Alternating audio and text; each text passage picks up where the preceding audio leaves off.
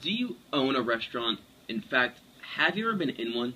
Chances are you said yes to one of those two questions. Now, what if I told you that I have an idea that can improve restaurants on both the consumer and business ends? My idea is that we get rid of human waiters and replace them with box shaped, autonomous robots with sensors on them that allow them to navigate through rooms. Now, you might be thinking, why would we do this? It's because robots don't call in sick, don't take breaks, don't need to get paid, and can do all of the things that a human waiter can do. A customer would simply text the restaurant their order, and the chefs would prepare the meals, just like they do for human waiters, and then place the uh, orders on the robot's tray, and the robot would deliver uh, the food to the tables, which would all be specified by, uh, ra- uh, by radio beacons. And then after they deliver the food, they'd go back to the kitchen to repeat the process.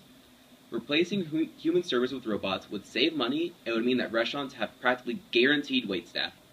And this would make a far more uniform and inexpensive experience for the consumer, and would also significantly lower the labor costs for restaurants.